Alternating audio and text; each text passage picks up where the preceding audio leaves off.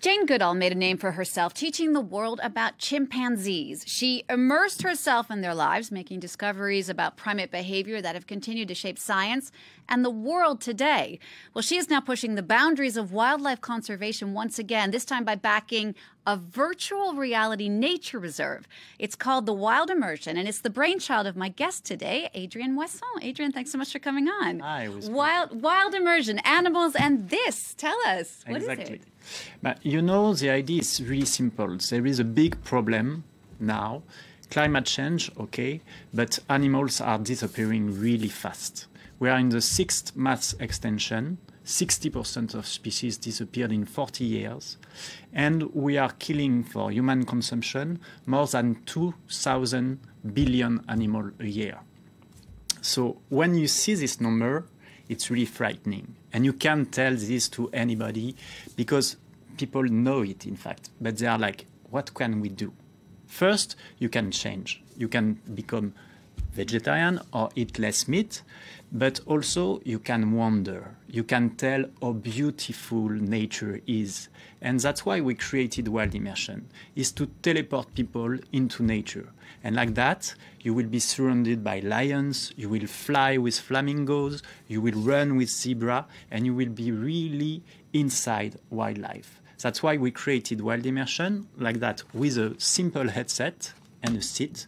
You can really be with animals.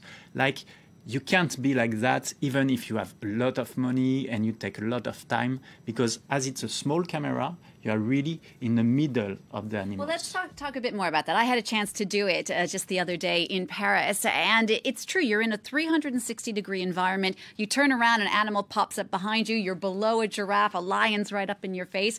Talk us through the actual filming. How did you go out to these places and get this up close and personal with animals? In fact, at the beginning, I was a veterinarian.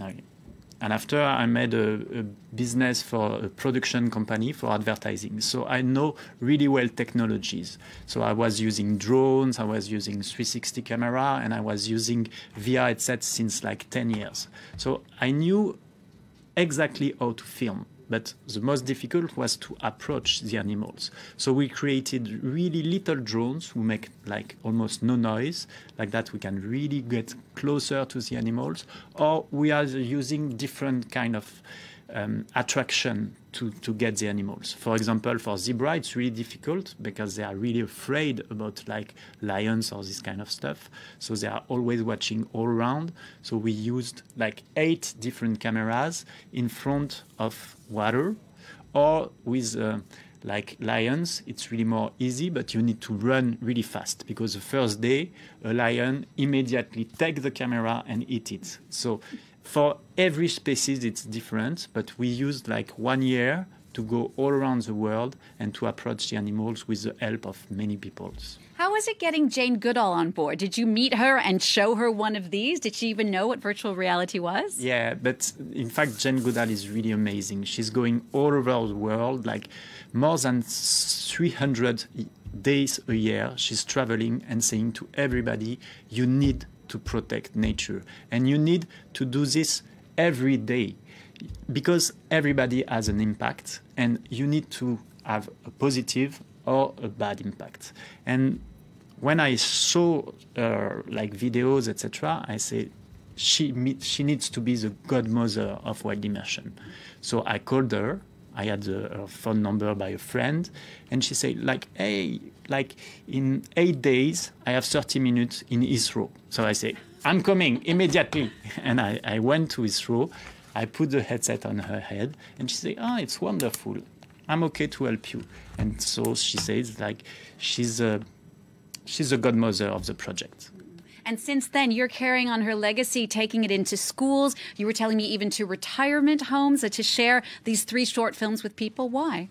Because I think we need to show this to everybody. In retirement house, we are working with Villa Beau Soleil in France, and we are going all around France to show to all people how beautiful nature is. And it's really wonderful to see that it was their dream to go, for example, in Africa. They know now that they can't do it, and some of them are almost crying. So it's really beautiful to see that nature is really powerful because there is studies that shows when you are in the forest in front of the sea or watching the sunset, you are really more relaxed. And that's what we want to do, is to create some little center in the center of town to relax people, to connect to themselves and to nature. Like that, they will want to protect it. So we have it open in Paris, in Jardin d'Acclimatation, in Pathé, in two Pathé, Beaugrenelle and La Villette.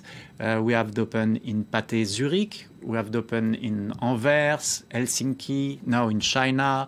We are going in USA in uh, May, and we are we want to go all over all over the world, like to create a kind of fight club for love and to really spread the message of how beautiful the nature is and how we can protect it. Adrien, thank you so much for coming in to tell us about that. Adrien Moisson, the founder, the creator of the Wild Immersion that you can check out here in France and soon around the world. Thank you so much. Thank you. And if people want to open Wild Immersion, they contact me and we can open everywhere. It's really easy.